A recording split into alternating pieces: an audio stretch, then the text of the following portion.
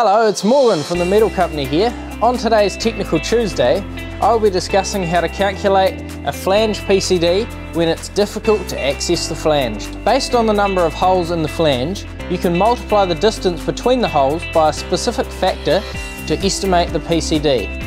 Here are the factors for different numbers of holes. For 4 holes, multiply the distance between two adjacent holes by 1.414. For 8 holes, multiply it by 2.613. For 12 holes, multiply it by 3.864. For 16 holes, multiply it by 5.126. For example, let's say you have a flange with 8 holes and a measurement of 90mm between two adjacent holes.